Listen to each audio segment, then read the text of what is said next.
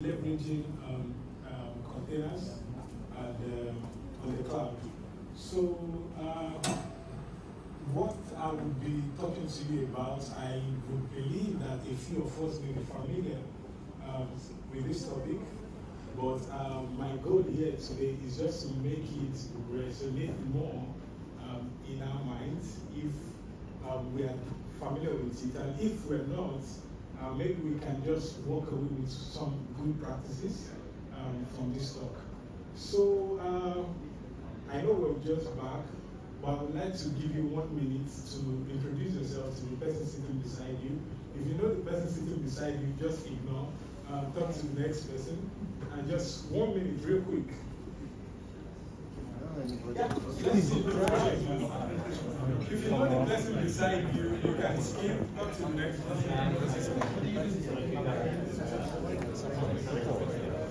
So what we're doing actually, we're doing pod, pod to pod interaction. so that's what we're doing.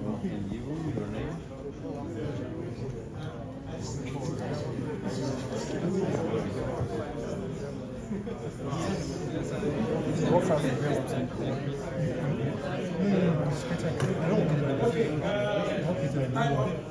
Time up. Over there, time up. Connection has time out. Nice. All right. Um, I think first on the agenda today, we'll be looking at what static analysis is, and then we'll also try to talk about the importance of static analysis uh, in Kubernetes cluster. Then we'll look at some tools that we can use, and finally, we'll just look at how you can implement static analysis in Amazon EKS. So um, I'll leave room for you to ask questions, um, maybe towards the tail end of, the, of this talk.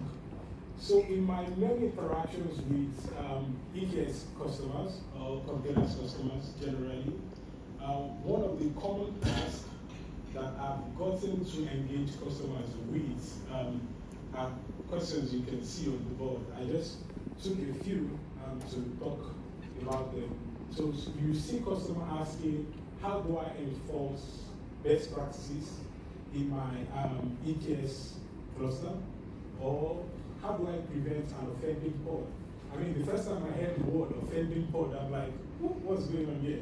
So, yeah, so you, you get those kind of questions. And the last one, which is very common, is how to track. How do I find the resource? And uh, we'll talk about how you, uh, how customers are doing this. So in terms of, just a quick sampling here, uh, do I have any CTO or CEO or business owner in the house? Okay, looks like we're all engineers. Um, what about developers? If you're a software engineer, cool. And um, ops engineers. Now, this is what I mean by ops engineer, because a broad word. We have security engineers, uh, DevOps, we have cloud engineer. So, how many ops engineer? Um, if you are from a different profile, well, what do you work as, as for example? I'm a sales engineer. Sales engineer, nice. Okay, so I'm going to um, put you in a business uh, profile. So now, um, what I've seen is that for the ops team, they have different concerns. They have different motivation, uh, they have different mindsets, and they approach things differently. Then for developers, the developer is more concerned about shipping his code um, swiftly. He's more interested in, oh, I've written the code, I'm expecting the ops team to just deploy, and everything should go smoothly. But in terms of the business itself, um, the CEOs, the CTOs, they think more holistically, right? Their own concern is even is, is not myopic, is not one uh, self-centered, and I'm not saying developers are self-centered. Don't get me wrong. So what I'm saying is that we are all driven by um, our core background. So we tend to prioritize based on our background. We tend to prioritize the way we work based on our background, right?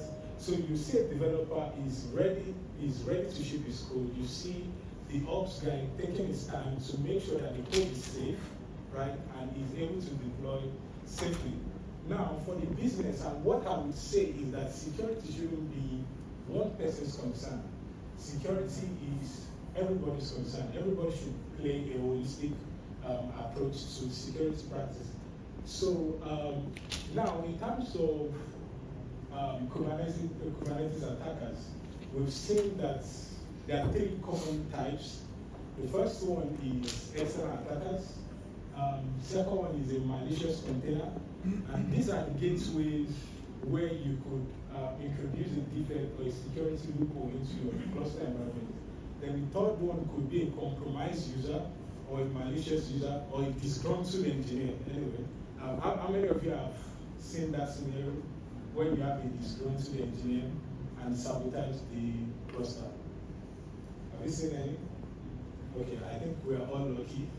Um, I've witnessed one anyway. So, uh, but so this now brings me back to what are the uh, security 101?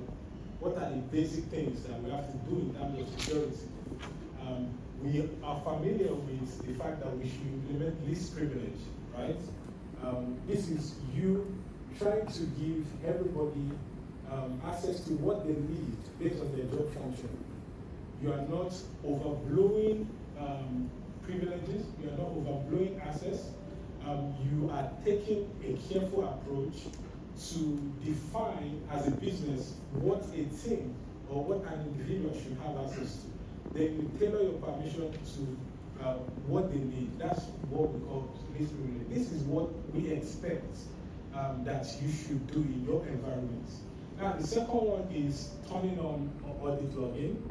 Um, if you want to have visibility into your environment, it's advisable that you always turn on login. In fact, the best practice, and I regard it as a security 101. And uh, here in Amazon, we also encourage that you automate your best practices as much as possible. Um, yeah, you may not be able to automate everything, but the ones you could, you should automate so that that way you'll be able to scale, you'll be able to move faster, and you'll be able to roll out at large. Um, then another thing is layering your security, right? You don't want to just have one security door. Like I mean, when you're coming into this premise, you have so many doors, you have to go through so many doors. So that's what it is about um, security as well.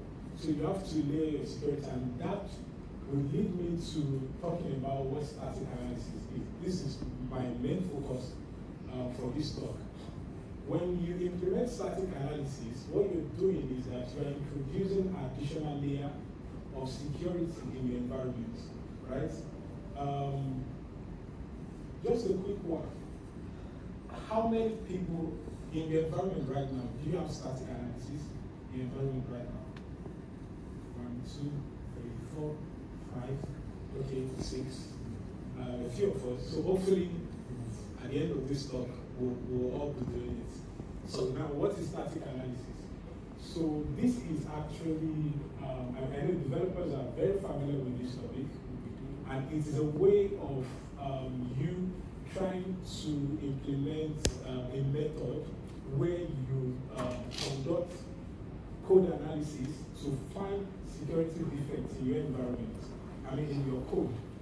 So you are, uh, whether you're doing it statically, um, whether you're doing by human intervention, or you are using um, tools like um, automated tools to carry out static analysis.